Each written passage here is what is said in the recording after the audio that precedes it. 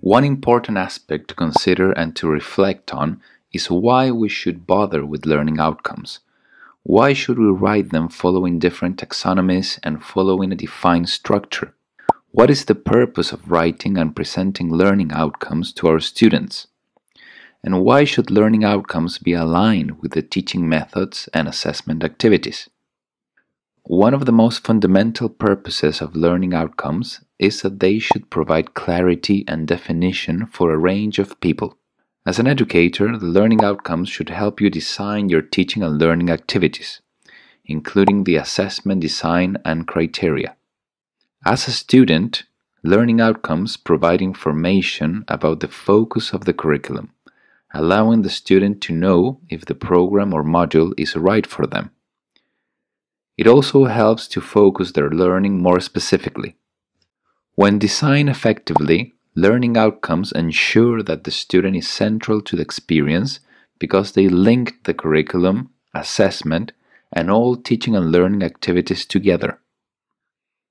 And of course, it is not just the student and educator who have a vested interest in the learning outcomes.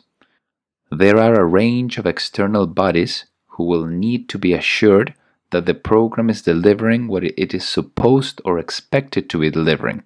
Examples here might include registering or professional bodies, your employers, or quality assurance agencies. So, the overall purpose for using learning outcomes is multifaceted. It enhances the level of transparency, provides guidance and information, and ensures a degree of equality.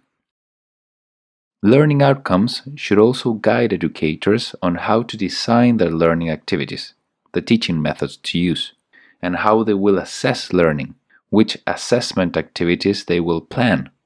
Biggs advocates a concept referred to as constructive alignment as a means to enhance student engagement.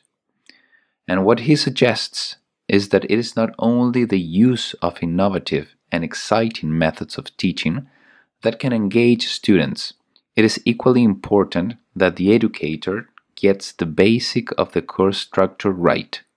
Learning takes place through the active behavior of the student. It is what they do that is learned, not what the teacher does.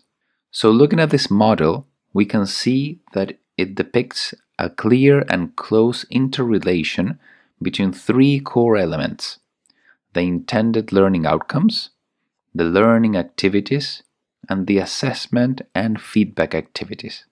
Biggs suggests that if there is a misalignment of any of these elements, then there is a much higher risk that the students will become disengaged.